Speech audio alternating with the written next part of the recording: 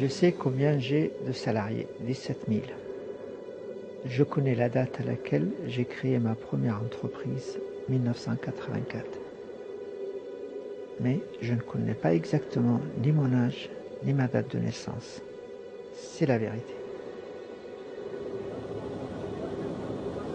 Je m'appelle Moed Altrad et voilà mon histoire. Je suis né dans une tribu bédouine dans le désert syrien. Abandonné par mon père, mis à l'écart par ma belle famille, ma jeune mère est morte de chagrin.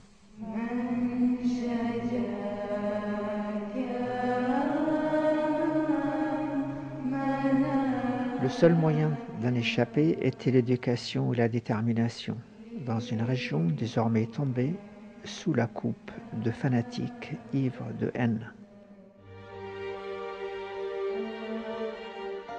J'ai obtenu les meilleurs résultats scolaires de toute ma région et la récompense était grande. Une bourse d'études pour une école à Montpellier. Ainsi débuta une vie en exil dans un pays lointain où la culture, comme la langue, m'était complètement étrangère.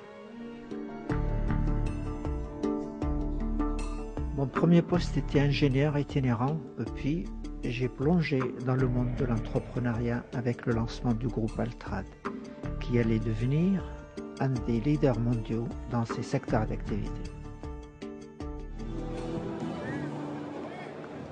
Ma décision d'acheter le club de rugby de Montpellier, qui était en grande difficulté, presque infaillible, c'était un moyen de dire merci à une ville qui m'a donné une seconde chance.